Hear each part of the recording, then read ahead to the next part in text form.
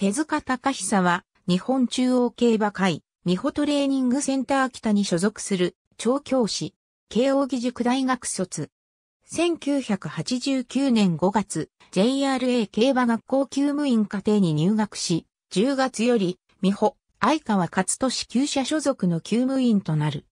1990年3月、美穂、佐藤林次郎厩舎所属となり、4月からは、美穂、佐藤全校厩舎所属の調教助手となる。1998年、調教師免許を取得する。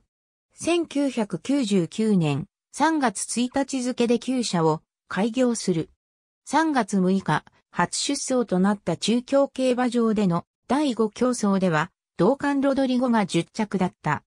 4月11日、中山競馬場での第3競争に出走したフォージドチャンプが勝利し、延べ13頭目で JRA 初勝利を挙げる。第16回フェアリーステークスをベルグチケットが制し、開業1年目で JRA 重賞初勝利を挙げた。2005年、第56回全日本2歳優春をグレースティアラが制し、GI 初勝利を挙げる。2013年、第73回桜花賞をあゆさんで優勝し、クラシック初制覇を果たした。同年、東京競馬記者クラブ賞を受賞。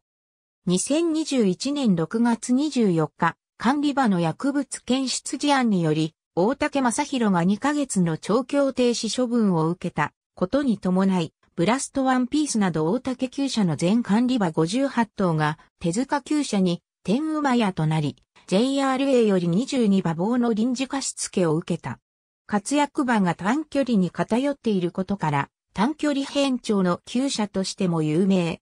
また、父、吉彦が足利競馬場の調教師をしていたことから、旧北関東競馬に人脈が豊富である。括弧内は、当該馬の優勝重賞競争、太字は GIQ 競争。